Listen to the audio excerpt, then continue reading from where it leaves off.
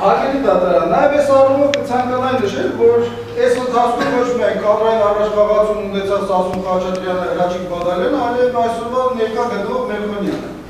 Որովհետև ինչու։ Ես ինչու եմ սա նշում, որովհետև այն ժամանակ սկսեց ինչ-որ ինֆորմացիա էր ասում, որ Երևան քաղաքի դատախազը այլ կարծիք է։ Եվ պատկերացնեք Հրաչիկ Բադալյանի համար, որ Երևան քաղաքի դատախազը այս գործով այլ կարծիք ունենա, քան թե իրենն է։ Եվ դրա համար ինչ արեց, շատ օրիգինալ լուծում գտար։ Պարոն Մերկոնյանի պաշտոնը բարձրացեցին, տարան գլխավոր դատախազի, որ անմիջական հստակություն միայն գլխավոր դատախազի տեղակալ Հրաչիկ Բադալյանը իրականացնի։ Այսինքն ամբողջ ինֆորմացիան Հրաչիկ Բադալյանը ստանա եւ ներկայացնի ուր անհրաժեշտ է։ Այլ ոչ թե Երևան քաղաքի դատախազի միջոցով որտեղ եթե սկսեմ խոսել, պետք է խոսել նրանից, թե ինչպես շուկայական հարաբերությունները դարձրեցին իրավական կատեգորիա,